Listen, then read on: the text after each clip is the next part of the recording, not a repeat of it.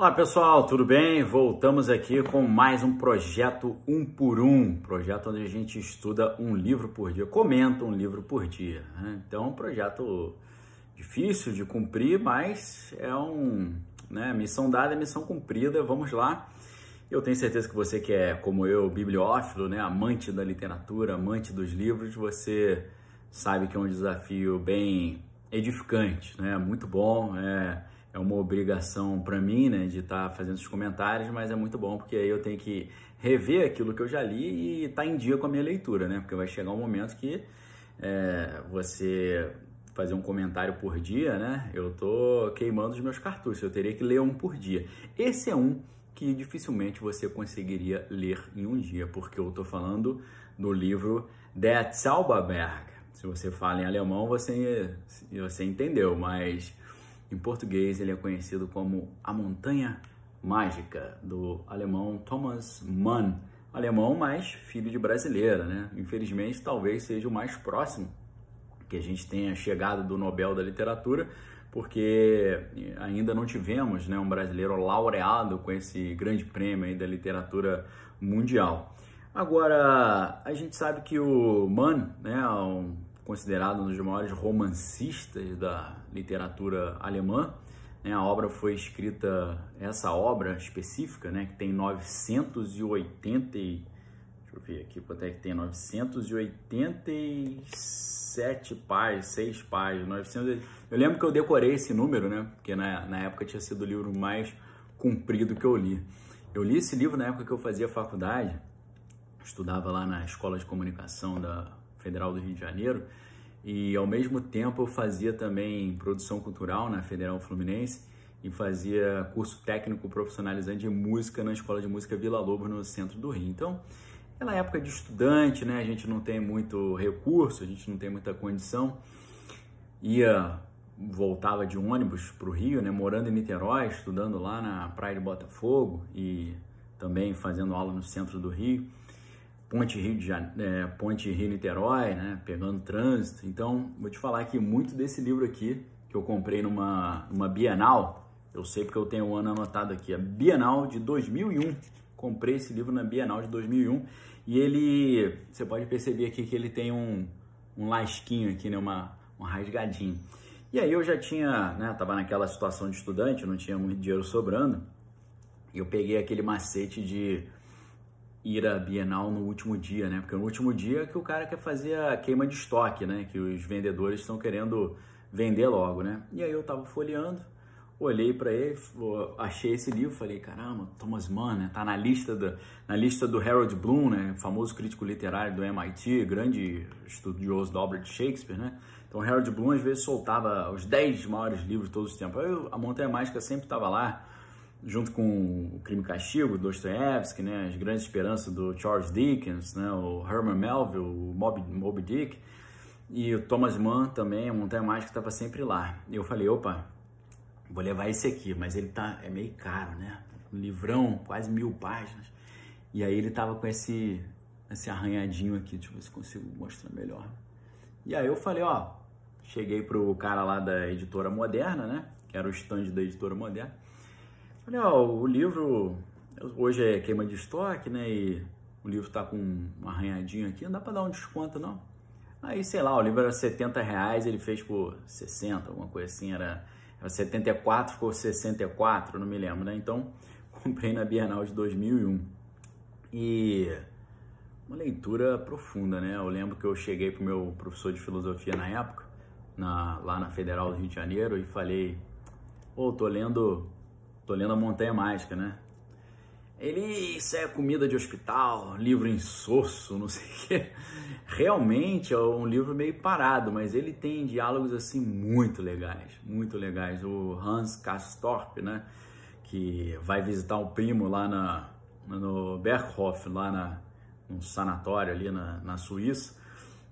E vai visitar e acaba ficando lá, né? Tem um pouquinho de autobiográfico nisso, porque a esposa do Thomas Mann passou por uma situação parecida.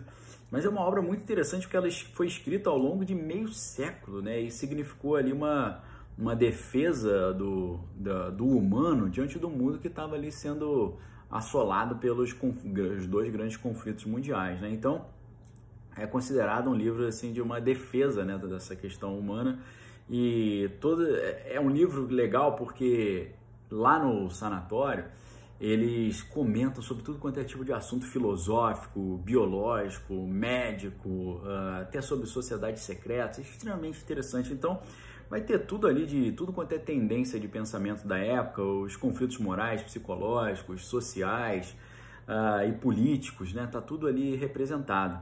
E o, os personagens, eles têm ali uma espécie de busca, né? Eles procuram neles e nos outros ali e também no mundo, né? Estão sempre procurando ali uh, um sentido, né? Um sentido da vida, né? O do amor, da morte, né? Tem um pouco de pessimismo, mas é interessante, né?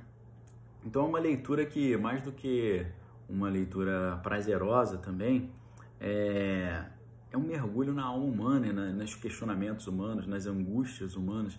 Tem passagens maravilhosas aqui. Uma das passagens mais interessantes que eu recordo aqui, que é, é quando o livro está meio parado, ele dá um up assim. É a passagem que está lá na. Deixa eu encontrar aqui, ele está lá para a página 644, que é um, uma parte chamada Neve.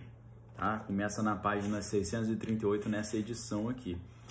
E é no, no capítulo capítulo 6 e conta uma história muito legal do protagonista, o Hans. Ele vai passear na neve e ele tem uma experiência assim meio sobrenatural, né?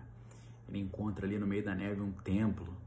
Ele adentra esse templo e tem um contato ali com uma, um cenário meio assim, eyes wide shut, né? De olhos bem fechados do, do Kubrick, né? Aquele último filme dele, o filme que fechou fechou a filmografia do, do Kubrick com um, um cenário bem misterioso, né? Foi ali também que o Tom Cruise e a Nicole Kidman começaram a se relacionar e um livro que explora um pouco esses bastidores aí da, das ordens uh, secretas e tal.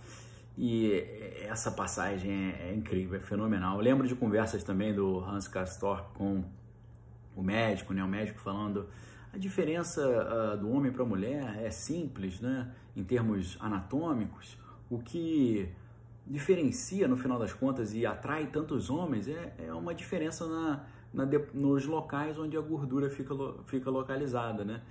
Na, a, o que dá o contorno do corpo da mulher, a diferença do homem é, é que o DNA dela deposita a gordura ali e dá o contorno né, do quadril, da cintura e tal os seios, né? Então é muito interessante, assim, tem, vai ter conversa de biologia, de psiquiatria, de filosofia política, de filosofia em geral, antropologia filosófica, as questões mais impressionantes que você possa imaginar. Uma leitura que eu não vou dizer que é uma leitura super divertida, né? Nem super rápida, mas é uma leitura extremamente edificante. Pode ser interpretado como uma, um livro insosso para quem lê assim meio apressadamente, ou quem está acostumado com algo mais corrido, mas eu digo para vocês que eu li muito desse livro dentro de um ônibus no Rio de Janeiro, na, nos anos 2001 mais ou menos, em pé e à noite. Eu me lembro segurando no corrimão com um tijolão desse aqui aberto na mão, com a iluminação bem rústica, lendo esse livro e me deliciando com as histórias que são realmente maravilhosos. Eu só me lembro desse professor, não vou citar o nome dele aqui porque eu gosto dele, é, pode ficar chato para ele, né, de falar que ele não, não gostou do Thomas Mann, né? Foi uma conversa particular, que já tem é, 20 anos, né? Então, exatos 20 anos, ele falou: Eu não gosto muito de, dessa obra, não, mas quer uma dica de uma obra que é, quase atrapalhou minha graduação? É, ele fez a graduação na PUC ele falou: em vez de ler um tijolão desse, quer ler uma obra grande, mas uma obra que vale a pena ler, uma obra grande e sensacional? Uh, em busca do tempo perdido. Né?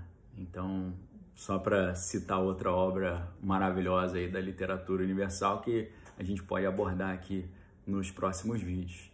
Tá certo, pessoal? Então, se você vai estar assistindo esse vídeo hoje, seja no Instagram, no YouTube, eu quero lembrar você que hoje é o último dia de uma promoção muito legal que está acontecendo na livraria, na minha livraria.